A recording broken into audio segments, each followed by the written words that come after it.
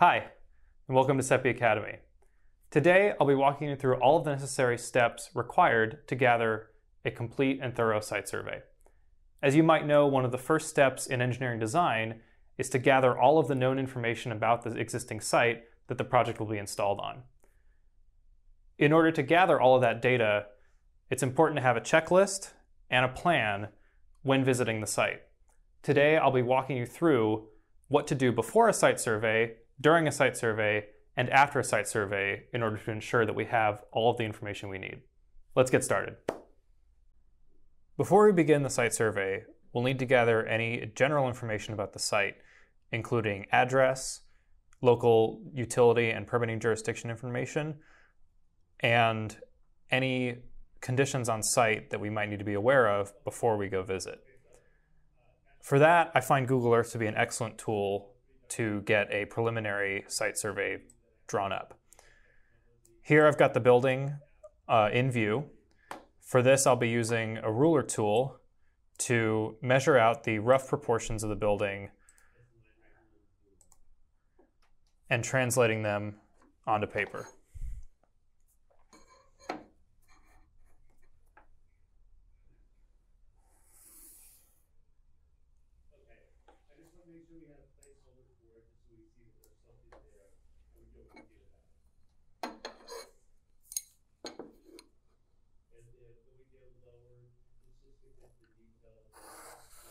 Once I've got the general outline of the building drawn up, I'll next want to draw up any large and obvious rooftop obstructions and their relative locations to the edges of the roof.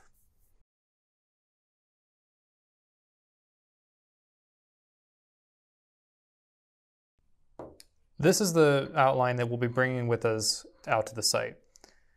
Notice I haven't put any dimensions on here yet because we'll be verifying those in the field once we're up on the roof.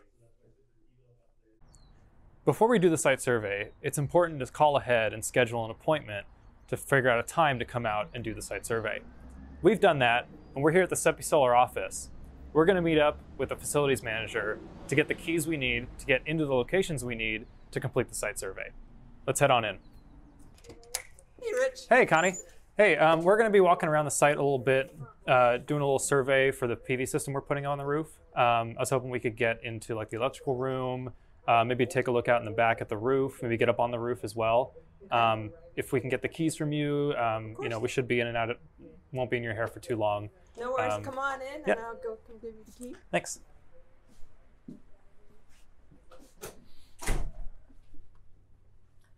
Here's the key. And, Thank you. Uh, in the back and everything, and the door locks by itself. So Okay. How about it? All right. Thank you. Okay.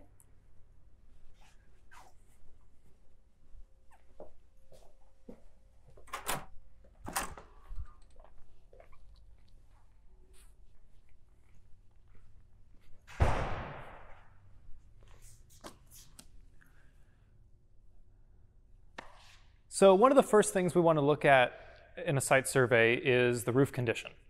Um, for residential systems, uh, that typically means maybe getting up inside the attic, uh, taking pictures of some of the rafters or the trusses that are present, um, and then of course getting up on top of the roof as well to get a look at the roof condition and uh, and see what you know see what kind of condition it's in. Uh, in commercial buildings like this one, usually the roof is open, so it gives us a good view of all the rafters and the roof underlayment that we can see here. Um, it's generally a good idea to get photos and possibly measurements. So if we have a scissor lift or a, a really tall ladder, we could get up there and take a closer look at the rafters. Alternatively, or I should say additionally, it's generally a good idea to see if existing building plans are available.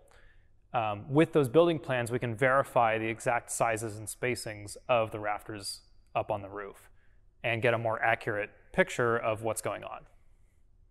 So with that, let's get a look at the roof under here, and then we'll head up on top and get a look at the roof from above. As you can see here, there are columns in the center of the building that support the main truss going across. Coming off of the main truss are smaller rafters that hold up the portion of the roof. We'll want to make sure to get a good close look at how many rafters, what the spacing is, what the size is, and the general layout of the support structure of the roof. When taking pictures of the underside of the roof, it's important to grab photos of any major structural intersections, such as here where the column meets the beam, here at the wall,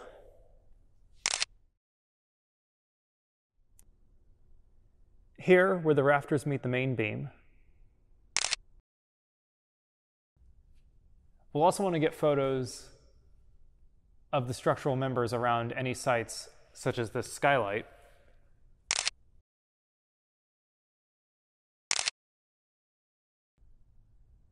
Without the necessary information, conservative assumptions often have to be made, which usually translates to a fewer amount of modules allowed to install in the roof. We also want to concern ourselves with the exterior walls of the building. In most cases, the exterior walls are holding the majority of the weight of the roof, which in turn means they'll be holding the majority of the weight of the PV system. Uh, it's crucial that the exterior walls of the building are rated adequately for the weight of the, of the system. So we'll take some good photos of the exterior walls in order to do an adequate structural review.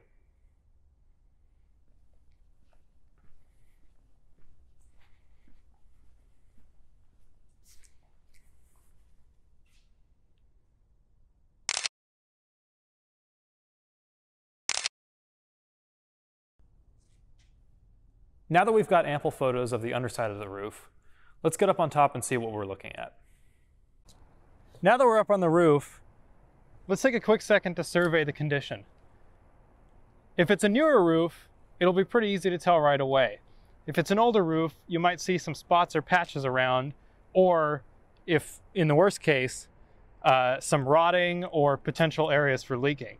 If that's the case, it's generally a good idea to get the roof condition taken care of either before or during the installation of solar.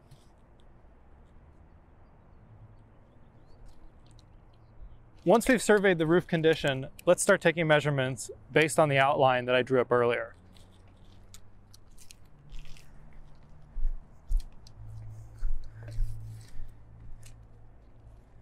It's important to take note of any major roof obstructions, such as these vents, skylights, and HVAC units that we see here on the far end of the roof.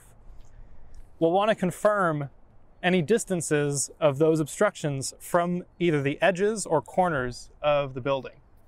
It's generally a good idea to pick one corner of the building as your reference point and measure all obstructions relative to that reference point. That makes it easier for engineers and drafters down the road to accurately translate that information into their CAD program.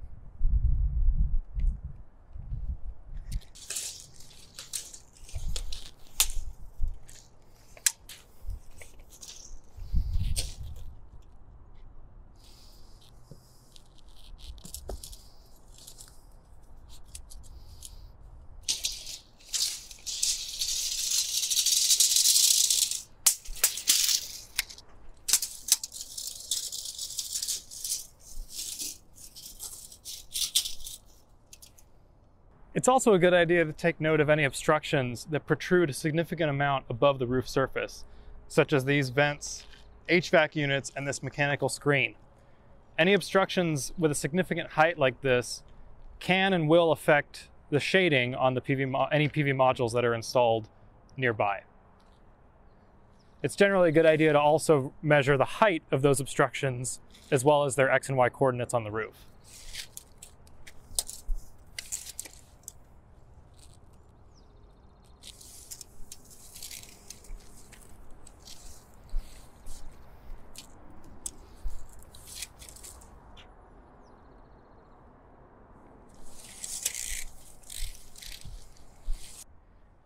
Getting an accurate survey of the roof and any obstructions on the roof is probably the most important part of any site survey. Without that information, it's going to be very difficult to get an accurate feel of how many modules can fit on the roof. If we don't know the distances between the skylights to the edge of the roof or the HVAC units, a lot of those values would have to be assumed using aerial imagery, which can have margins of error as large as a foot or two, which could make the difference in a PV system that's trying to max out the square footage of the roof. Without that information, assumptions will have to be made, often erring on the conservative side, which will result in a fewer amount of modules on the roof than is initially desired. It's also important to take photos that accurately survey the entire roof surface. To do this, it's a good idea to take a photo standing at each corner of the roof, facing in the direction of each other corner of the roof. For a four-sided roof like this, that means that we'll be taking three photos at each corner for a total of 12 photos.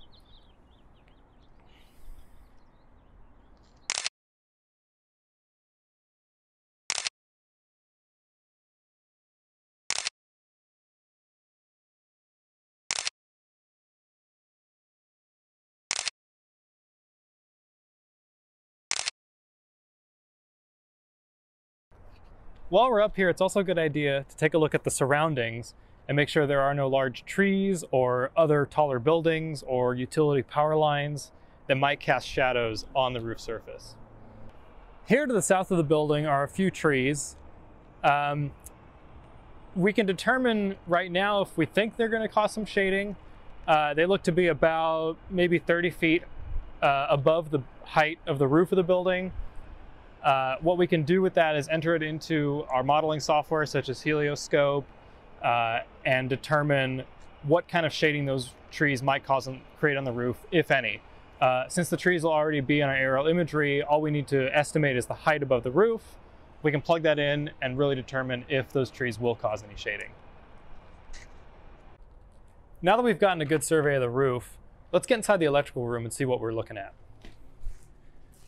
The first thing we'll want to do when we walk in is take a general photo of the room. Usually I like to stand in the doorway and take a photo as if I were looking in the room for the first time. This is a good idea because it gives whoever's reviewing this, the photos at the end of the day a good feel as if they were here with you. So here's the main switch gear. It's a good idea to get a good photo of the overall layout of the switchgear.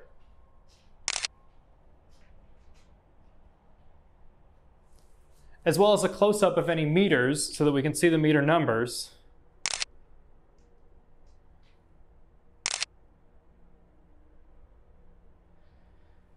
And the main disconnect so we can identify it later.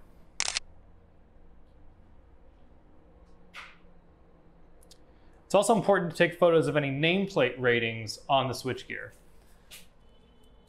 such as this one and this one.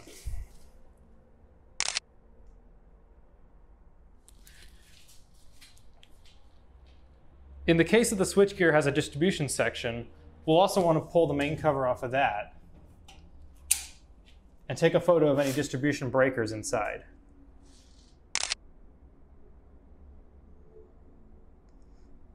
If a load schedule is present, we'll also take a picture of that.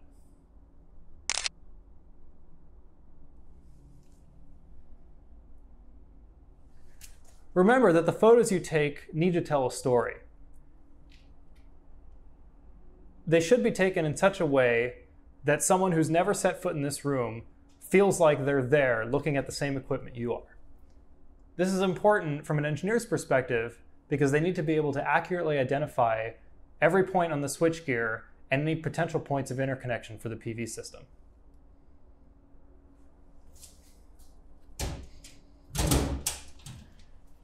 If any subpanels are present in the system, we'll also want to take photos of those, just like we did the main switchgear. Here's one directly behind the main switchgear. We'll also want to take a photo of the inside and any panel schedules present.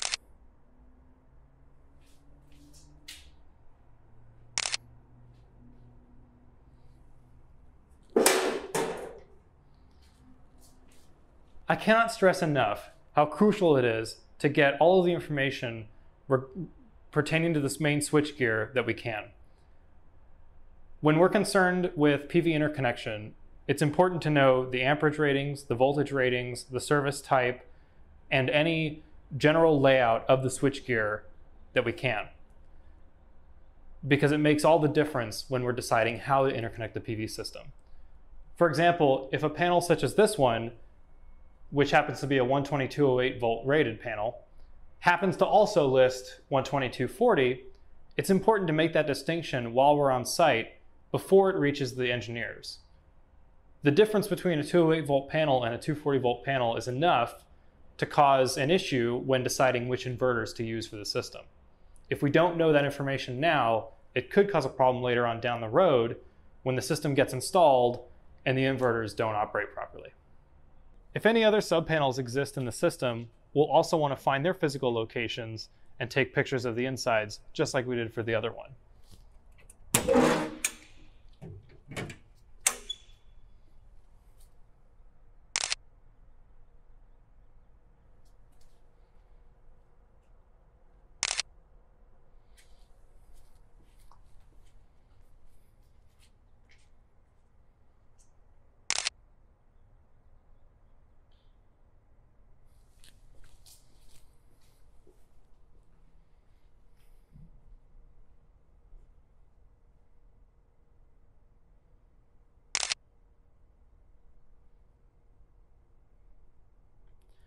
Remember that photos from far away are just as important as photos close up because they give us a bigger picture of the surrounding conditions. This will allow us to later determine where the best location is for the new PV equipment.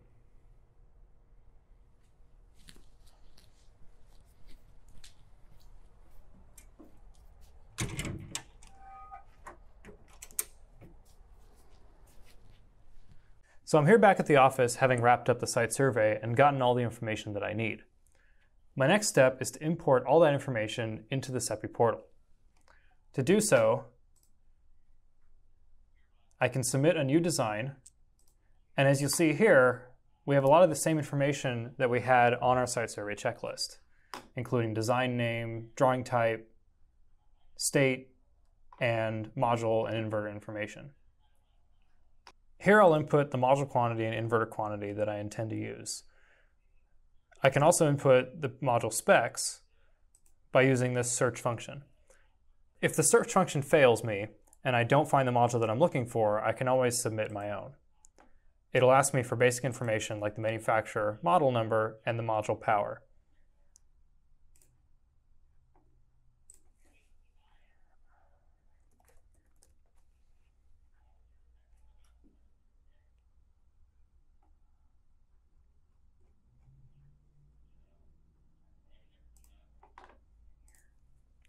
The same goes for inverters. I can search the inverter using this search function or input my own if I don't see it in the list.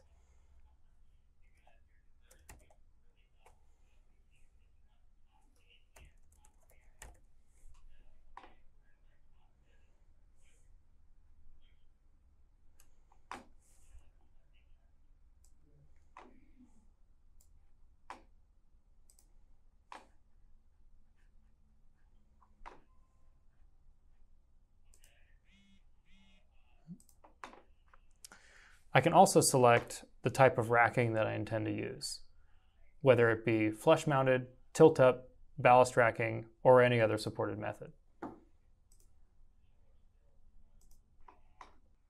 Once I've submitted all of the basic information for the project, a new page appears showing me that same information that I just submitted, along with a lot of blank fields for all the rest of the information for the project.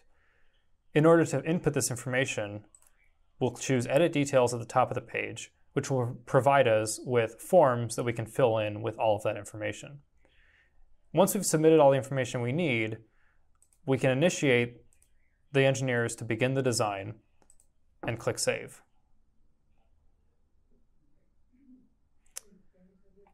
That will refresh the page with all the information we would have inputted. A link will also appear, prompting us to upload any photos that we took out on the site as well as any other documents that we deem important to the project, such as this layout with the measurements that we took up on the roof. I've taken a photo of this, and I'll also be uploading this to the portal along with all the photos. That about wraps things up. Thanks for joining us. We hope you learned a lot about the ins and outs of site surveying. If you ever get stuck or you need help, please reach out. Never hesitate to ask. We hope to see you next time. Take care.